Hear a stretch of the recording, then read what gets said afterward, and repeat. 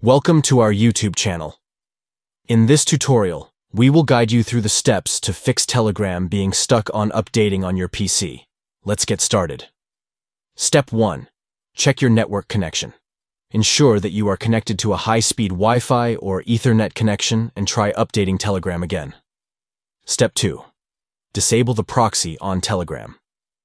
Open the Telegram app on your PC, go to Settings, and navigate to the Proxy section. Disable any proxy settings that are enabled. Step 3. Disable VPN. If you are using a VPN service, try disabling it temporarily and then update Telegram. Step 4. Update Telegram from the Windows Store.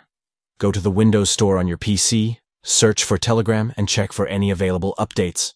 If an update is available, install it to resolve any compatibility issues. Step 5. If the issue persists, you can try reinstalling Telegram.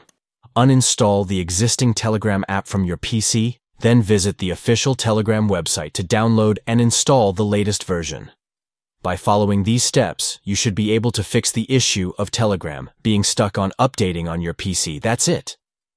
You have now learned how to troubleshoot and resolve the problem of Telegram being stuck on updating on your PC.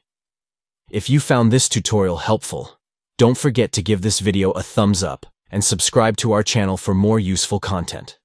Thank you for watching.